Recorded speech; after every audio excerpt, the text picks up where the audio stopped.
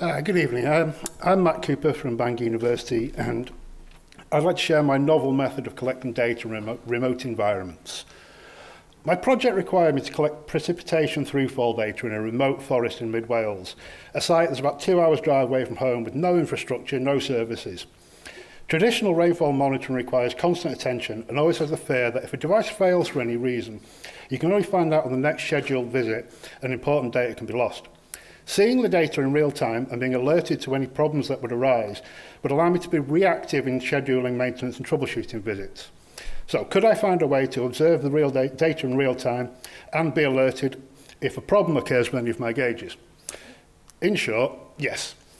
The Internet of Things is a concept which allows small packets of data to be formatted and transmitted from sensors and recording devices to the web and then to wherever you want them to be. Here, because this is the network that we developed to collect and transmit our data. Rain gauges were connected to the Internet of Things by the means of a node.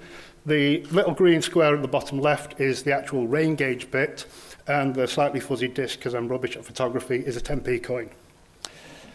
The gateways that we developed are solar powered, completely off grid, And they work similar to a domestic router in that they just transmit a message. They use the mobile phone network to transmit that. So then using the Things network and a piece of software called Node-RED, we can see the data in real time. This is a screen grab from my computer, and you can see that the, the top five graphs are actual rain, rain data from when it started raining. Node-RED can also be connected to your mobile phone. This is, the tall picture is a grab from my phone, and the small picture on the right is a notification to tell me that one of my gauges hasn't worked for the last three hours. So I can then decide whether I'm going to go down to the forest and have a look at it. So basically, this was a proof of concept because we were told that it couldn't be done.